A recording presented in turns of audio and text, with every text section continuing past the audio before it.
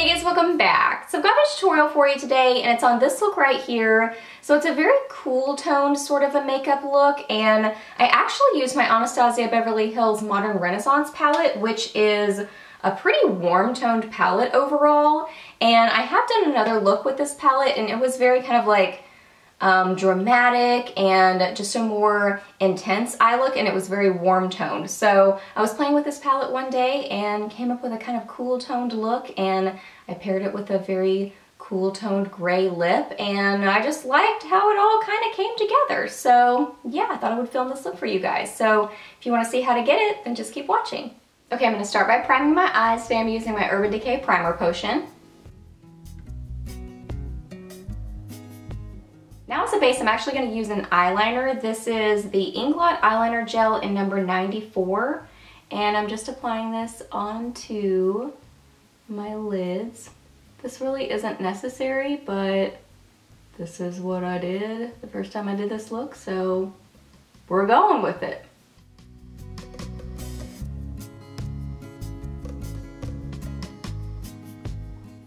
I'm gonna go in with my Modern Renaissance palette. I'm gonna get some of Buon Fresco on a Sedona Lace EB15 brush.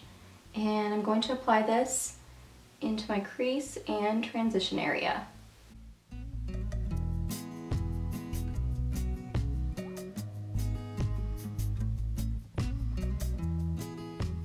And now for just a little bit of warmth, I'm gonna get some of Burnt Orange on an e.l.f. Professional Blending Eye Brush. And I'm going to apply this kind of on the lower part of my crease. Sort of still where we applied that, but I'm not blending it up as much. That's why I'm using a smaller crease brush. And I'm kind of keeping that low. I just want the tiniest little bit of warmth to kind of mix in there so it kind of helps balance out all the cool tones.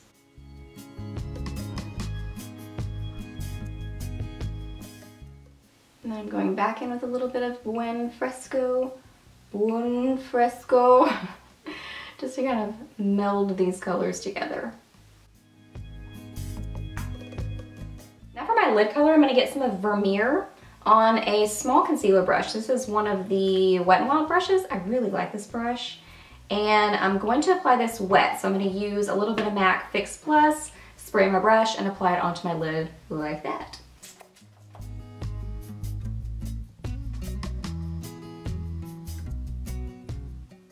And I'm concentrating this on like half to two thirds of my lid.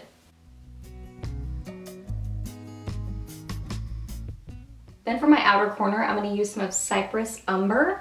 Yes, Cyprus Umber on a small crease brush. This is from, I think, CVS. I'll link it for you guys.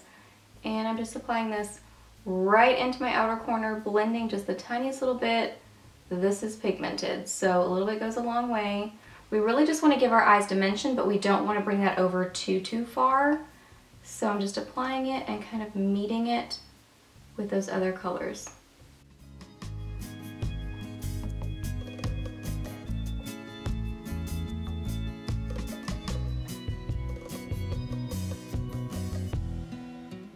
Now for liner today, I'm going to tight line with my L'Oreal Infallible Never Fail eyeliner, and this is in Noir. And then I'm going to do some winged liner with my Kat Von D tattoo liner.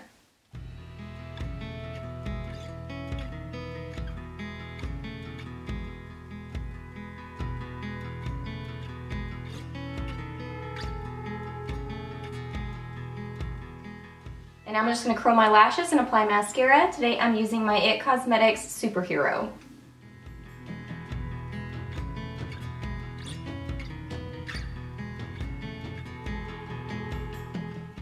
For this look, I want a really clean lower lash line, so I'm not going to use anything there except for a little bit of mascara. I'm using my Clinique Bottom Lash.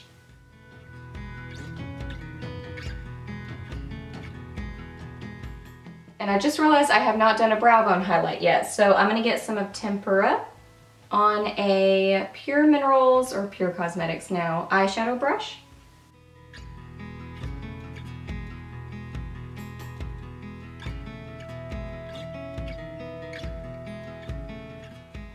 Okay, moving on to the rest of my face. So I've already applied foundation, concealer, powder, bronzer, brows, and now for blush, I'm gonna use my Benefits Rockateur I know I use this a lot in tutorials, but it just goes with everything. So that's why I love to use it. And I'm applying it with a Studio Gear number 13 brush.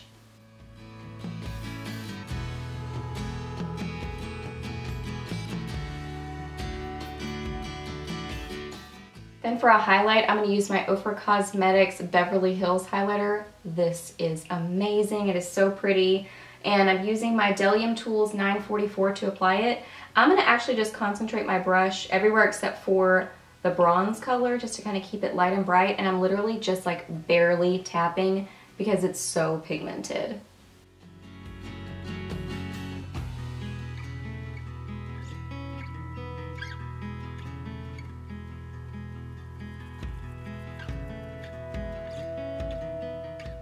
Then for lips today, I'm going to use my Maybelline Loaded Bolds in Gone Greige.